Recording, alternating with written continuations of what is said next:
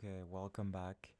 What I want to show you today is a follow-up to the last video where we did use uh, replicating portfolio to price a call option um, on a binomial tree with two branches and a single period. Uh, today we're going to do uh, almost the same thing. Uh, the only difference is going to be that we are going to use a different method, which is risk neutral pricing.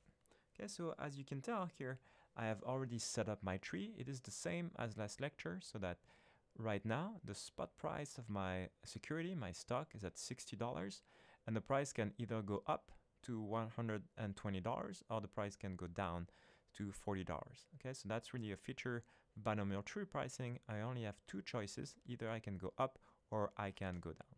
And what I'm going to do, well, I'm interested in a strike, a call option with a strike of $60, a maturity one year. And I know that the interest rate is such that if I borrow $1 today, I'm going to have to repay in a year $1.20. Okay, so these are the parameters of the problem. Now, what I want to do is to uh, use risk neutral pricing to actually uh, find the price of my call option.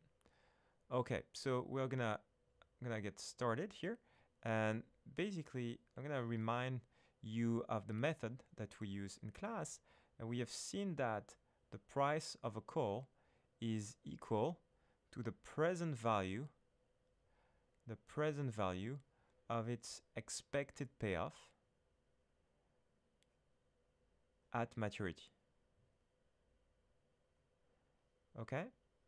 So that's just a fancy way of saying C0, the price of the call, is the present value. So it's I'm going to discount at the risk-free rate, future cash flows, where I'm going to take the expectation. So I know that with some probability, let's call it pi, we're going to end up in the up state, and I'm going to receive the payoff of the call and with some probability 1 minus pi, right, I only have two branches. So it's either I go up or I go down. So some probability 1 minus pi, I'm going to get the payoff in the down state. So you see that what do we know here? Well, we already know a few things. I know this, that's equal to 1.2. The things that I do not know is this probability right? When I form an expectations, I need to know the probabilities of each state. So here I actually don't know the probability of going up or the probability of going down. And I need also to figure out the payoffs. Okay, so let's start with the payoff. The payoff we did already last time. So what is the payoff of a call option that has strike 60 when the price is 120. Well, I have the right to buy something at $60 that's worth $120. So basically, that's a good deal for me and I get a $60 discount. In other words, that's really $60 payoff. Now, in the down state, I have the right to buy something at $60, but that thing is only worth $40, right? The stock is only worth $40. So I will actually not exercise the stock, the call, and the call is said to be out of the money and the payoff is equal to zero. Okay, so now I know this thing. I know this thing. It's 60, it's zero. I need to figure out what is pi.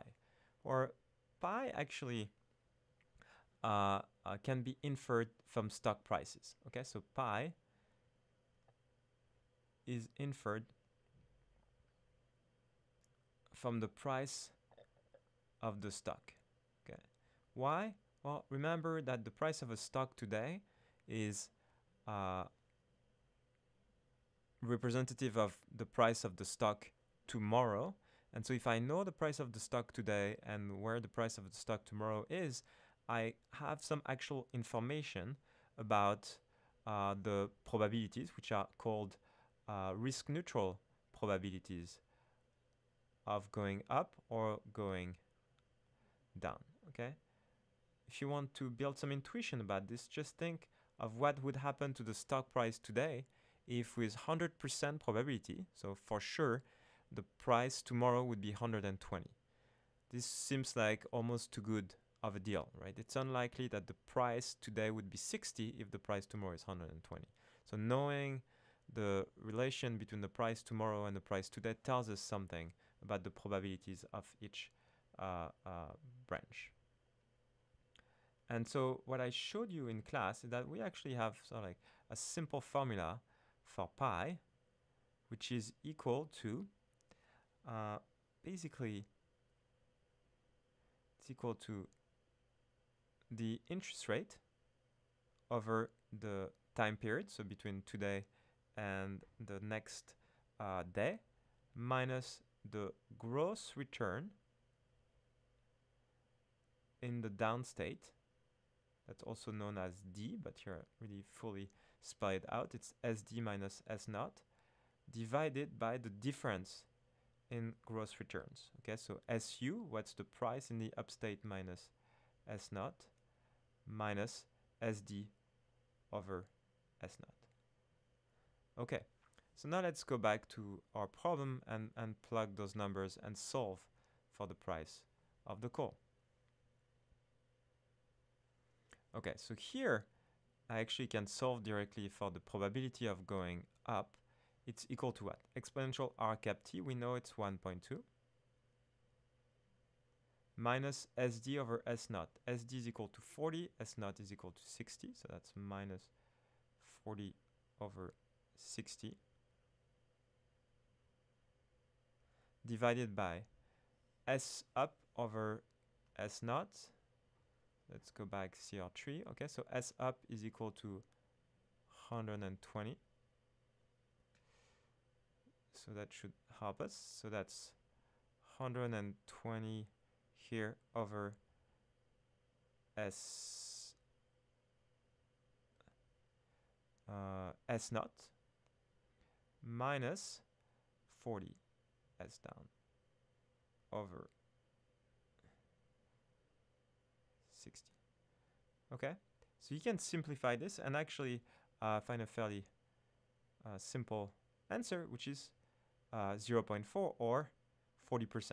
Okay, it's important that this number is between 0 and 1. It is, after all, a probability. That means that that's the probability of going up here.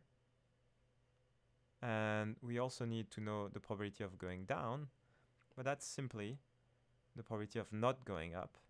So that's 1 minus pi. That's going to be equal to 0 0.6.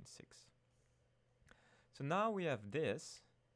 We actually can now estimate this uh, uh, full equation. And so C naught is equal to 1 over the interest rate, 1 over 1.2 times pi, so 0 0.4 times the payoff in the upstate, which is 60, plus, running out of space here, let's move this a little bit,